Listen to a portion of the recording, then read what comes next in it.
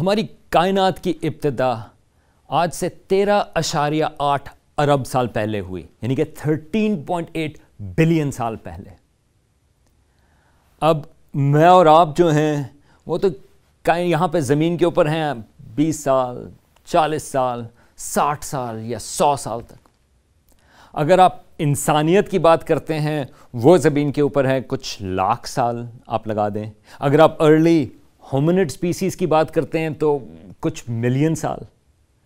اگر آپ زمین کی ہی بات کر رہے ہیں، تو وہ بھی آج سے تقریباً ساڑھے چار ارب سال پہلے یا فور اینڈ ہاف بلین سال پہلے وہ بنی تھی، ہمارا سورج بھی اس کے ساتھ۔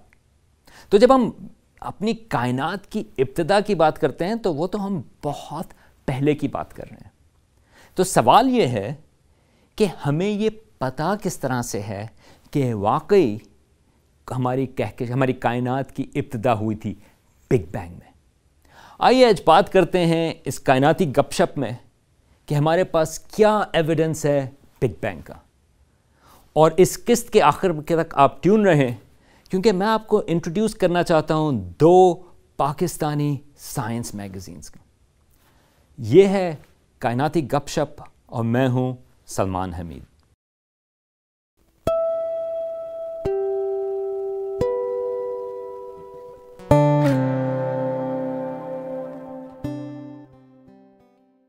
اگر آپ بیسویں صدی کے شروع کی بات کر رہے ہوں، اگر میں آج بیسویں صدی کے شروع میں ہوں یا انیس سو دس وغیرہ میں یا انیس سو پندرہ یا انیس سو بیس میں، تو میں آپ کو یہ بتا رہا ہوں گا کہ ہماری جو کائنات ہے، وہ ہے سٹیٹک وہ ہمیشہ ایسی کی ایسی ہی نظر آتی ہے جس طرف بھی آپ دیکھیں، اور وہ ہمیشہ سے ایگزسٹ کرتی رہی ہے۔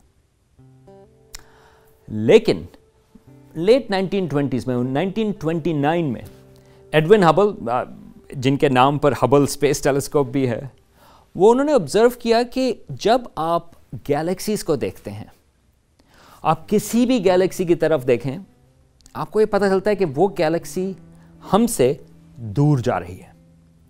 اور جتنی زیادہ وہ دور ہے، اتنی ہی وہ تیزی سے زیادہ دور جا رہی ہے۔ اب اس کی ایک انٹرپریٹیشن تو یہ ہو سکتی ہے کہ ہماری اپنی جو کہکشاں ہے ملکی وے وہ کائنات کے بیچ میں ہے اور ساری چیزیں ہم سے دور جا رہی ہیں۔ لیکن اصل میں یہ ایسا نہیں ہو رہا۔ بلکہ یہ ہے کہ اگر آپ کسی بھی گیلیکسی کے اوپر ہوں، وہاں سے آپ کو یہ لگے گا کہ تمام گیلیکسیز آپ سے دور جا رہی ہیں۔ تو اس کا مطلب کیا ہوا؟ اس کی کیا انٹرپریٹیشن ہے؟ تو ایڈون ہبل کے حساب سے اس کی انٹرپریٹیشن یہ تھی کہ ہماری جو اپنی پوری کائنات ہے، وہ پھیل رہی ہے۔ اب جب آپ کائنات کی بات کرتے ہیں تو بہت ساری چیزیں کاؤنٹر انٹرویٹو ہوتی ہیں۔ ذرا مشکل ہوتی ہے اس کے بارے میں سوچنے کے بارے میں کیونکہ ہم اس میں یوز ٹو نہیں۔ تو اس میں کس طرح سے اس ایکسپینشن یا اس کائنات کے پھیلنے کے بارے میں ہم سوچیں؟ اب اس کی مثال اس طرح سے ہے کہ جس طرح آپ ایک بلونز کی بات کرتے ہیں یا غباروں کی۔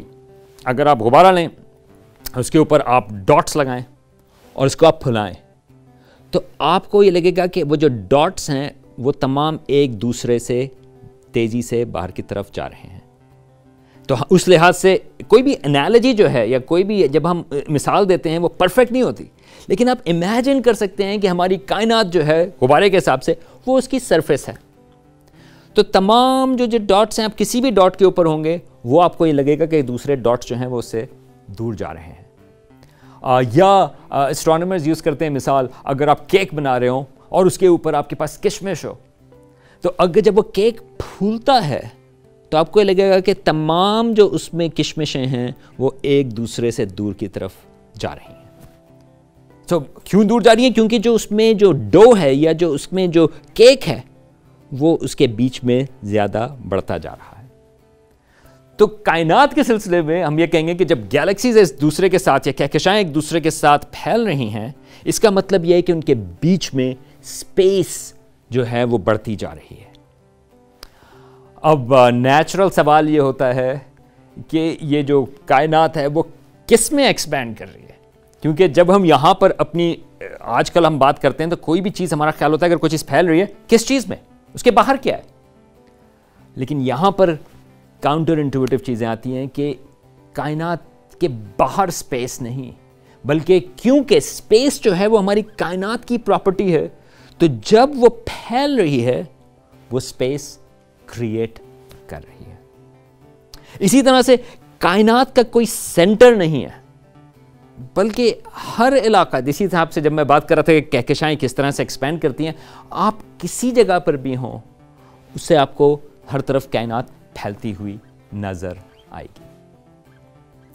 لیکن اس ایکسپینشن کا جو کی جو ایک سائیڈ افیکٹ تھا، وہ یہ تھا کہ اگر آج یونیورس پھیل رہی ہے یعنی کہ ڈسٹنس مختلف گیلیکسیز کے بیچ میں بڑھ رہا ہے، تو اس کا مطلب یہ ہے کہ اگر آپ اس کا ٹائم ریورس کریں، پیچھے جائیں ٹائم میں، تو اس کا مطلب یہ ہے کہ گیلیکسیز کا جو ڈسٹنس ہے بیچ میں، وہ کم تھا۔ اور آپ یہ کیلکولیٹ کر سکتے ہیں کہ اگر آپ کم ان کا ڈسٹنس پیچھے ٹائم میں چلتے جائیں اور ڈسٹنس اس کا کم کرتے جائیں، تو ایک وقت ہوگا جب تمام چیزیں جو ہیں وہ ایک نقطے میں ہوں۔ اس انٹرپریٹیشن کو کہتے ہیں بگ بینگ کہ ایک وقت جب آپ اس کو اگین ریورس کریں، تو تمام چیزوں کے جو ڈینسٹی ہے یا جو ہے وہ بے انتہا زیادہ تھی اور تمام چیزیں جو ہیں وہ ایک نقطے کے اندر تھیں۔ ایک لحاظ سے آپ یہ کہہ سکتے ہیں کہ تھری جو آج کل ہماری کائنات ہے وہ تھری ڈیمینشنل ہیں اسپیس کی، اس کو آپ زیرو ڈیمینشن میں کر دیں۔ اب اس کے بعد میں جو اب بات کروں گا، وہ تھوڑی سی کمپلیکیٹڈ ہے، لیکن مجھے کہنی ضروری ہے۔ وہ یہ ہے کہ ہمیں یہ نہیں پتا کہ ہماری جو کائنات ہے، وہ فائنائٹ ہے یا انفینٹ اگر ہماری کائنات انفینٹ ہے اس کا مطلب یہ ہے کہ اگر آپ پہلے جائیں تو کتنا بھی آپ ڈسٹنس کم کر دیں گیلیکسیز کے بیچ میں، وہ جو انفینٹ جو آپ کا جو نقطہ ہوگا، وہ صرف پھر بھی انفینٹ نقطے ہوں گے اگر ہماری کائنات انفینٹ ہے۔ اب اس کو کس طرح سے سمجھیں، یہ ہم پھر کبھی بات کریں گے، لیکن یہ کلیریفیکیشن کے لیے میں یہ بتانا چاہ رہا تھا کہ ہمیں یہ بھی نہیں معلوم کہ ہماری کائنات کی وتھ انفائنٹ ہے یا انفینٹ لیکن یہ جو بگ بینگ کا آئیڈیا تھا، یہ موجود ہے۔ اور اگر آپ یہ سوال پوچھیں کہ بگ بینگ کس کس جگہ پہ ہوا، تو وہ یہ کہیں گے کیونکہ ہم کائنات کا حصہ ہیں، تو بگ بینگ ہر جگہ ہوئی۔ یہ جگہ ہے، یہ جگہ ہے، یہ تمام حصے جو ہیں بگ بینگ کا حصہ تھے، کیونکہ ہم سب ایک نقطے کا حصہ تھے۔ خالی بگ بینگ خالی ایکسپینشن آف دا یونیورس جو ہے، وہ بگ بینگ کا ثبوت ضروری نہیں۔ اس کی وجہ یہ ہے کہ نائنٹین فورٹیز میں ایک الٹرنیٹیو تھیوری تھی جو ایک اسٹرانومر ہیں یا فزسسٹ تھے فریڈ ہوئل کے نام سے۔ اور انہوں نے کچھ اور لوگوں کے ساتھ ایک آئیڈیا دیا، جس کا نام تھا اسٹڈی اسٹیٹ یونیورس انہوں نے کہا کہ ایکسپینشن جو ہے، وہ تو ہو رہی ہے کائنات میں، ٹھیک ہے۔ لیکن ہماری کائنات میں ہمیشہ سے اس قسم کی ایکسپینشن ہوتی رہی ہے۔ کوئی اس کی بگننگ نہیں۔ اسی لیے اس تھیوری کا نام تھا اسٹڈی اسٹیٹ اور اس میں یہ تھا کہ کائنات کی ہمیشہ ڈینسٹی جو ہے وہ ایسی کی ہی رہتی ہے، جیسی ہمیں آج نظر آ رہی ہے۔ اب اس تھیوری کی ڈینسٹی کو پرزرو کرنے کے لیے اور کائنات جو ہے وہ ایکسپینڈ کر رہی ہے، اس کے لیے تھوڑے سے میٹر کی کریشن کی ضرورت تھی۔ خالی ایک ایٹم کچھ لائٹ ایئرز میں کیوبک لائٹ ایئرز میں ایک ایٹم اب آپ یہ کہیں گے کہ آپ نے تو یہ سنا ہے کہ matter can not be created not destroyed آپ بالکل صحیح کہہ رہے ہیں۔ مگر فریڈ ہائل نے کہا کہ یہ تو تھوڑا سا میٹر ہے۔ ہاں یہ لا جو ہے وہ اپلائی نہیں کرتا اور تھوڑا سا بریک ڈاؤن کرتا ہے کائنات کے اسکیل پہ۔ اس نے کہا کہ اگر آپ کو میری تھیوری کے اوپر ایک ایٹم کے کریشن کے اوپر آپ کو اعتراض ہو رہا ہے کائنات میں یعنی کہ کچھ ایک لائٹ ایئر کے حساب سے، تو آپ بگ بینگ تھیوری کو دیکھیں جس میں پوری کائنات وجود میں آ رہی ہے کریشن آف میٹر سے۔ تو اس نے انفیکٹ یہ جو نام تھا بگ بینگ وہ ایک انسلٹ کے حساب سے لیا تھا کہ یہ کس قسم کی تھیوری ہے کہ آپ کی کائنات شروع ہوئی بگ بینگ سے۔ مگر بگ بینگ جو ہے وہ نام سٹک کیا اور آج ہم بگ بینگ تھیوری کی بات کرتے ہیں۔ لیکن جو کی ایویڈنس تھا بگ بینگ کے سلسلے میں وہ تھا cosmic microwave background radiation جب ہماری کائنات پھیلنا شروع ہوئی، وہ کوئی ایکسپلوژن نہیں تھا بلکہ وہ ایکسپینشن تھی۔ لیکن اگر جب ہماری کائنات پھیلنا شروع ہوئی تو اس کا ٹیمپریچر گرنا شروع ہوا۔ یہ بات ہے نویں، دسویں کی فزکس کی کہ جو گیس لاز ہوتے ہیں کہ اگر کوئی بھی چیز ایکسپینڈ کرتی ہے اس کا ٹیمپریچر جو ہے وہ گرتا ہے۔ یہی چیز ہماری کائنات کی بھی ہوئی۔ تو شروع میں ہماری کائنات کا ٹیمپریچر بے انتہا زیادہ تھا کیونکہ ڈینسٹی بے انتہا زیادہ تھی۔ اور اتنی ڈینسٹی تھی کہ وہ ایٹمز بھی کریٹ نہیں ہو سکتے تھے۔ اس میں الیکٹرانز اور پروٹونز جو ہیں وہ ملتے نہیں تھے۔ تو الیکٹرانز فریلی موو کر رہے تھے اور پروٹونز بھی فریلی موو کر رہے تھے۔ اس میں اگر آپ کے پاس لائٹ ہو، جو فوٹونز تھے، وہ اتنی زیادہ ڈینسٹی تھی الیکٹرانز اور پروٹونز کی کہ وہ لائٹ جو ہے وہ اسکیپ نہیں کر سکتی تھی۔ وہ فریلی فلو نہیں کر سکتی تھی کیونکہ وہ الیکٹران یا پروٹون سے ٹکراتی تھی۔ اس کو ایک لحاظ سے آپ کہہ سکتے ہیں کہ ہماری جو کائنات تھی اس وقت وہ تھی اوپیک اس کو پلازما بھی کہتے ہیں اس حساب سے۔ مگر جب کائنات ایکسپینڈ کرتی رہی، تو اس کا ٹیمپریچر جو ہے وہ گرتا رہا۔ تو کائنات کے شروع کے تقریباً چار لاکھ سال کے بعد فور ہنڈریڈ تھاؤزینڈ ایئرس کے بعد، وہ کائنات کا ٹیمپریچر اتنا گر گیا کہ الیکٹرانز اور پروٹونز وہ کمبائن ہوئے ایٹمز میں۔ اور جیسے ہی وہ کمبائن ہوئے، ہماری جو کہکشاں کی روشنی ہے، یہ فوٹونز ہیں، وہ فریلی فلو ہونا شروع ہوئے۔ ایک لحاظ سے یہ ٹرانزیشن تھی پلازما سے گیسیس فیز میں۔ اب یہ اور یہ پرڈکشن بگ بینگ تھیوری کی ہے، کیونکہ شروع میں وہ ڈینس تھی اور بعد میں وہ کم ڈینس ہوئی۔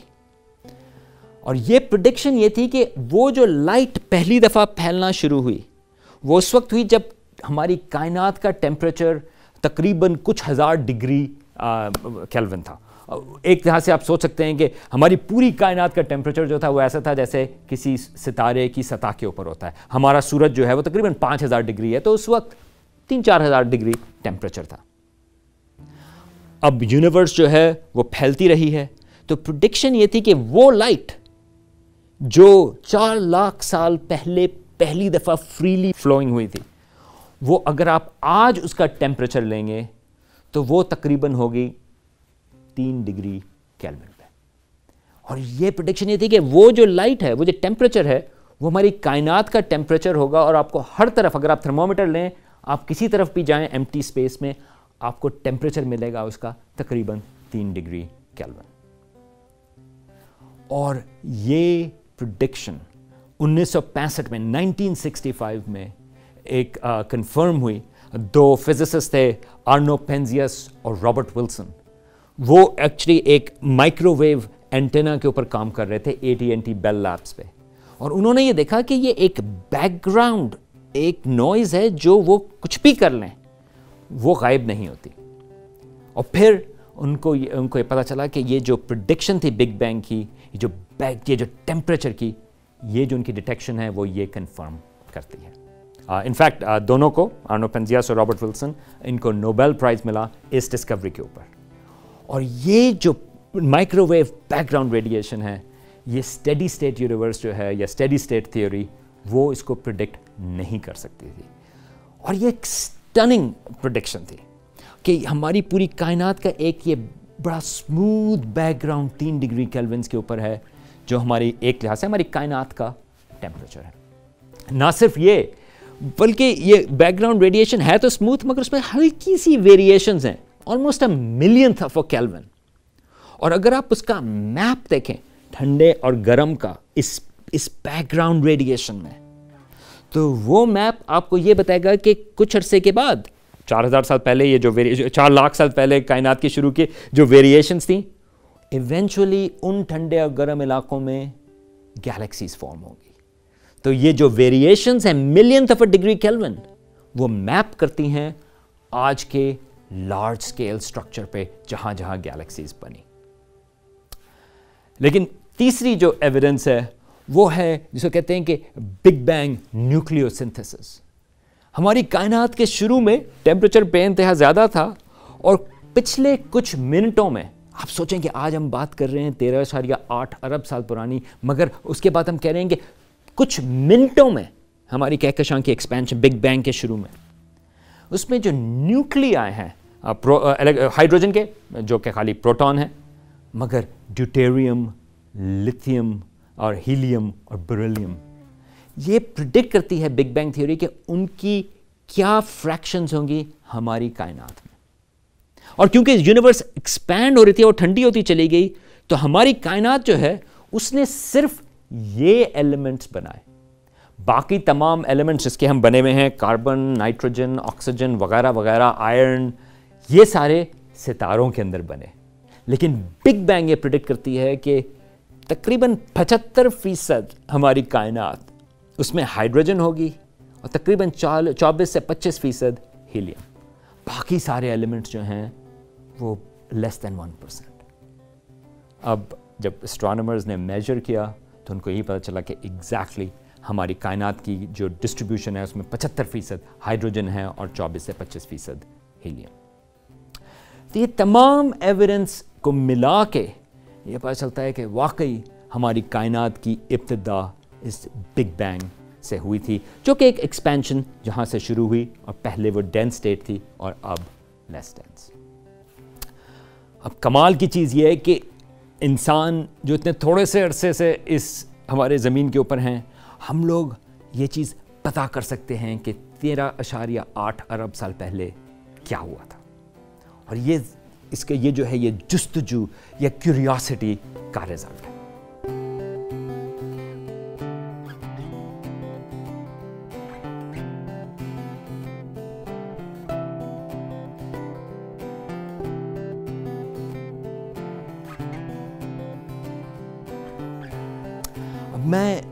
آپ کو دو سائنس کے میگزین ہیں پاکستان کے میں وہ بتانا چاہوں گا۔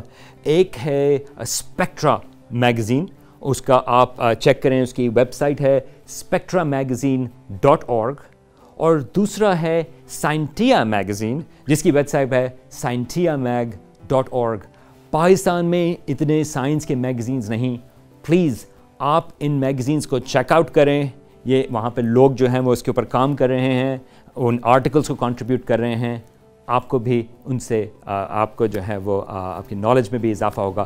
پلیز آپ جا کے ان کو چیک آؤٹ کریں۔